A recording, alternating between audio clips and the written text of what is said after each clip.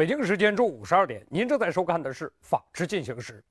近日，在北京首都机场附近，一位老人啊，带着三岁的孙子去超市购物，这东西还没买完，孩子竟然不见了。在超市里啊，找了好几圈都没找到，急得老人立刻报了警。上里边找找去啊！是找了，我找了五六圈了，找了五，我找了五六圈了，就骑个小黑车，外边我也找了。光顾买东西了，回头一看，不害怕，不害怕啊！妈妈拿了，拿了，拿了，让妈妈抱抱，妈妈抱抱，啊，不害怕，不害怕，谢谢谢谢。没事没事。警察叔叔是来找你的，帮妈妈一起找。还得回去。不害怕。哎呦，好了好了。基层派出所民警的工作啊最为复杂。接下来我要为您介绍的这位民警周文昌，就在北京市公安局丰台分局方庄派出所工作。五十三岁的老周从警十五年来，一直以事事有回应为工作准则。那么，老周出警的一天都会遇到什么事儿呢？我们一起去看看。腰是胃特难受，这好几天这昨晚一宿都没睡着，两种药大贵啊，一昨天。十月十四号上午九点，民警周文昌接手前一晚同事的出警任务，开始了一天的工作。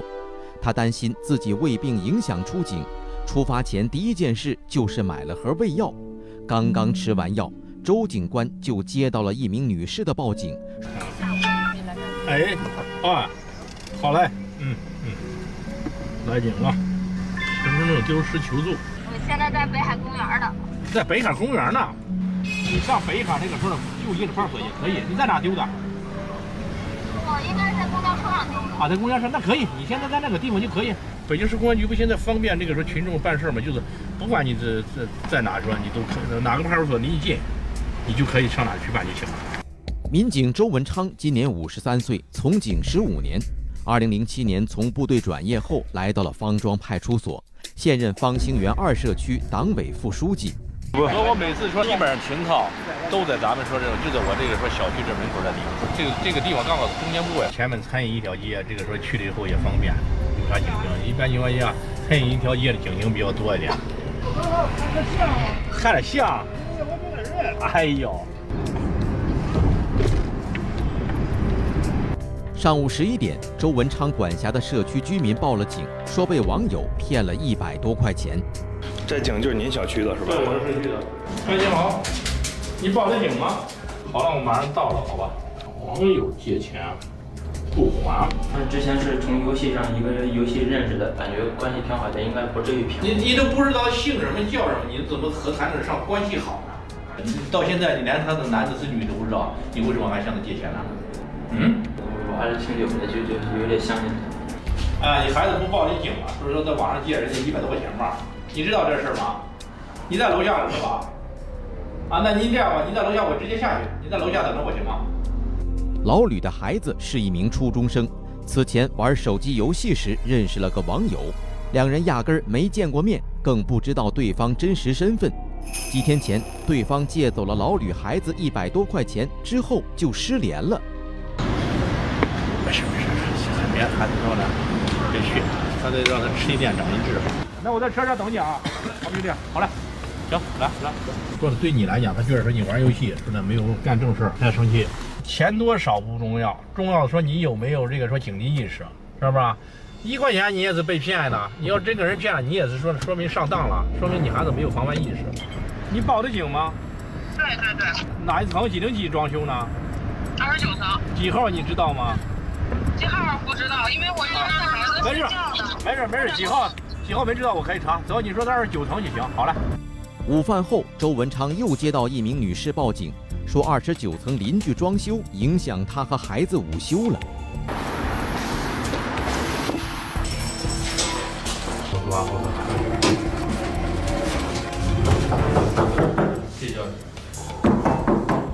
我问一下，咱们那个日月天地这个二十九层是不是咱们有人在有装修是吧？没有啊，今天没人。啊，今天没人是吧？确定没人是吧？确定。好好好。那门特别响，半天呢。是吗？我就没有照，我就凑合。现在再就没有，现在再没有了吗？现在就没了，就是刚才有一阵。那二十九层那我打我也打电话了，敲门了，没人啊。就楼上的。行，那我再上，我再看看。当天是周六，按规定不允许施工作业。周文昌赶到报警人所说的二十九层后，没发现有人装修。对呀，这这边什么没有？这到三十一层才。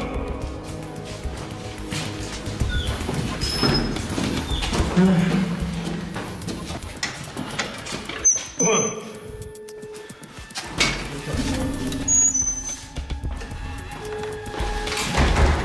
都没有装修的。人家报警人跟我说，这电话不接了。要是不接，就给那保安再说一声。哎，你好。是啊，我给你打发一个电话，我从三十二层到跑走到二十七层，也没有发现。二十九层他是有一家装修，但是他没有施工。在现场，周文昌没有发现有装修的情况。他在联系上报警人后，告知了工作情况，并叮嘱小区物业加强监督。一会儿再有声音，你们说居民说的不，咱们上去看一下，好吧？好了，好了啊，保证他周末之后别别别再施工了，好吧？这影响大家休息，好吧？好吧。一打电话，你看人报警人然后说能理解，然后完后这事就好了，他就不会再报警。你说报警人你没联系上，你也没给他回复说那什么个情况，甭管说解决不解决，你报了他一会儿没准说又打电话。对群众的诉求，咱们得给有回应。对对对对对对对对，你给他完弄完了，咱也做工作，咱也不是说这虚的假的，咱做了说了，你给他一说，你看，他还心里还很感激啊。咱们也觉得这事儿，心里说呢，觉得说呢，虽然辛苦的，也觉得说值，对不对？是吧？下午四点，周文昌接到了来北京旅游的小林报警，说自己的哥哥走失了。你报的警？怎么回事啊？你哥怎么了？就是呃，他走丢了吧？在走丢了。对。你们三人一起从广东来的，让这旅游来了，玩来了。小林说，他哥哥有些内向，两个小时前他们一起吃饭时，哥哥不见了。就是这个说思维啥正常吗？就是他有点自闭。打电话了吗？你把他电话现在也告诉我一下，没关系，不要着急，不要着急。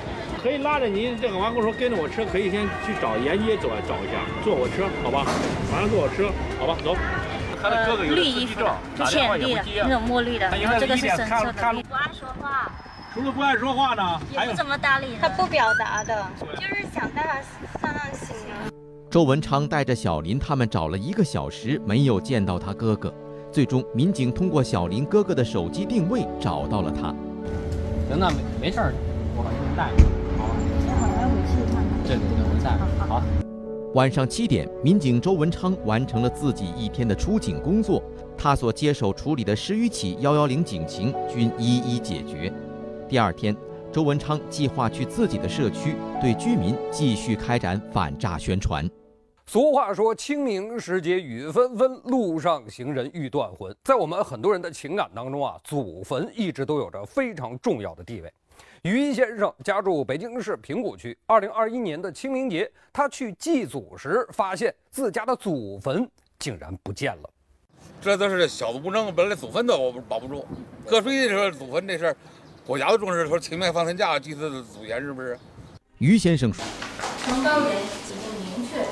对呃约定了，这个地上的坟墓的问题需要他们来解决。”承包这个工程之后，是将工程分包给了杭州公司，合同里面也明确约定了协调周边的社会和相关的政府关系，承担这个安全文明施工的费用。如果有侵权事实的存在的话，那也应该由杭州公司来承担。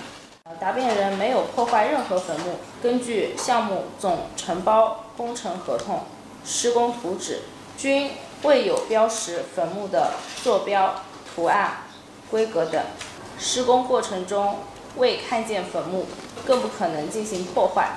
呃，我们公司既不是业主，不是业主单位，也不是总包，也不是分包、转包，就是我们跟这个项目是没有直接的法律关系的。恢复原状的可能性，然后先看看坟能不能找着。就在这个大概就在这片儿吧，现在具体位置咱们也很难找。经过现场勘查，确定是非常难找到的，因为大家都不确定具体的位置。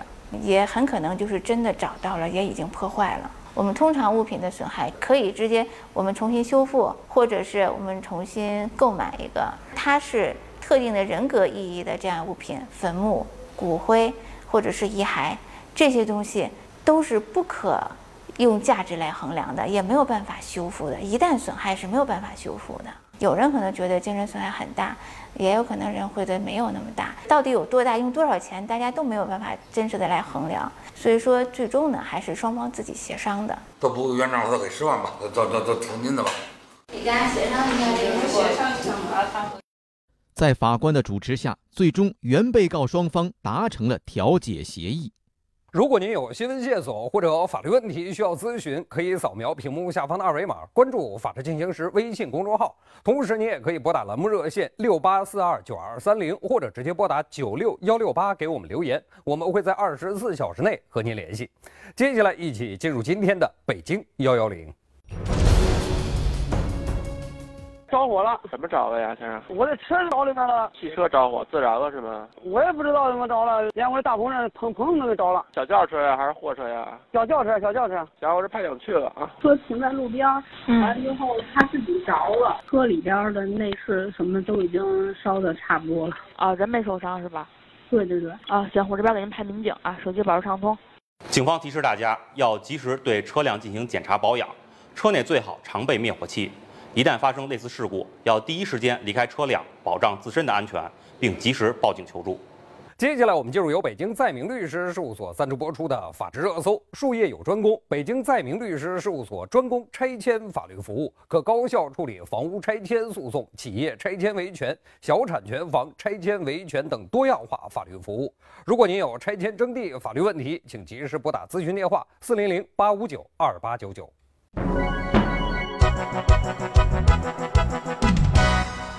近日，湖南长沙一名两岁幼童在家中的院子里玩耍，将一枚硬币啊塞进了电动车的充电孔，结果导致双手被烧伤。家属发现之后，立即把孩子送到了医院就诊。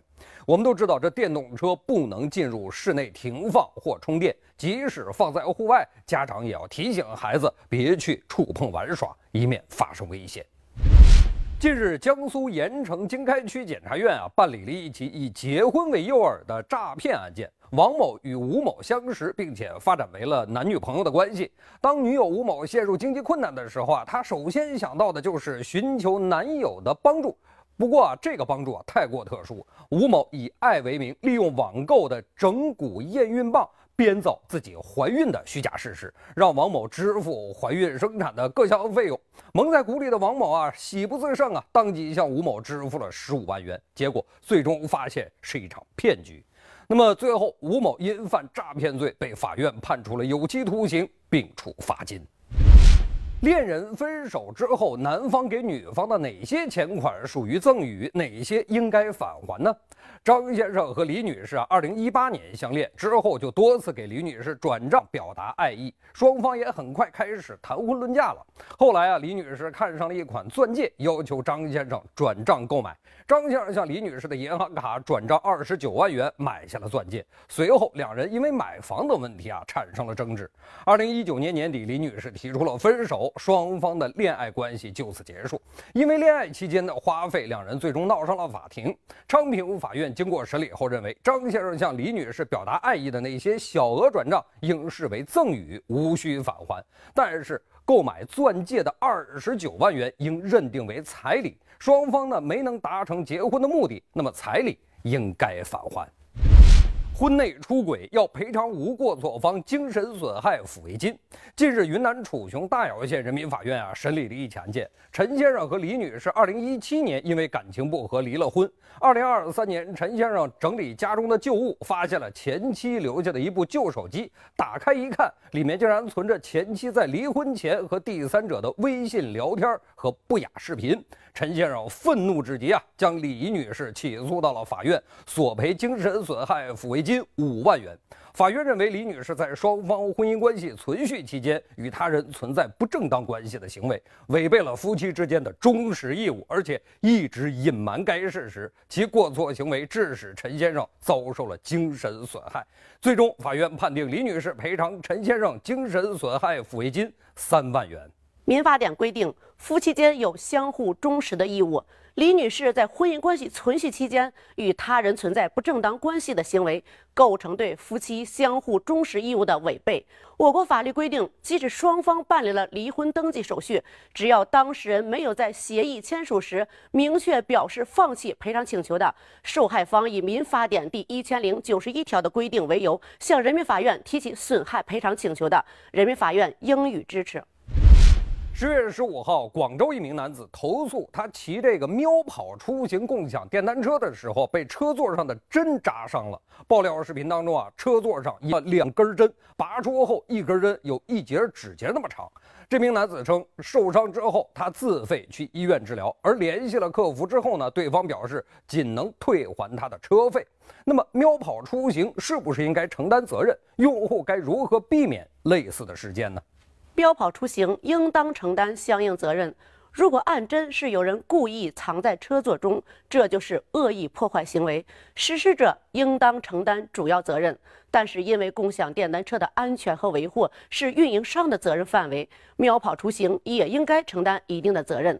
运营商在提供共享电单车的过程中，应该保证车辆的安全性和质量。为了避免类似事件的发生，共享电单车运营商要加强车辆的安全检查，确保车辆没有安全隐患。也可以为用户提供相应的保险服务，以减轻用户在使用过程中可能遇到的风险和损失。大家在使用共享电单车的过程当中，要适当的进行安全检查，加强安全意识，以保证自身安全。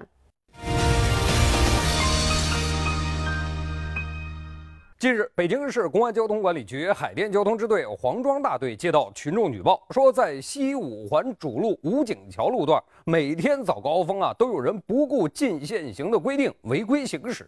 接到举报之后，黄庄大队的民警在早高峰来到了被举报的路段。首先，咱五环主路不准摩托车上上来行驶。第二，咱摩托车只能走机动车最外停车道，明白吗？呃，进入车辆进行标志会发现一百块钱奖励。还有一公里就出去了。是是这么走比较方便，您觉得对吧？您你们家车太多了，咱们对摩托车是不是有点危险？是吧？下次注意。咱们有很多联络线，你可以选择联络线通行。后咱们就不要上环主路。啊，行，我待会儿就在前面出去了。早高峰的五环主路车流量大，摩托车穿行期间，不仅自身安全难以保证，更是大大增加了交通事故隐患。我说我取个文件，我一想这个，这是法条现场啊，没事没事，认可认可，一百一分，归大约法第九十条啊，认认可认可。没什么要申辩的是吧？没有没有。您要去的地儿，别的地儿能能绕一下。我里边不认识，开车习惯了。哦。我一年骑不了几回。那您还得注意这个车太多危险。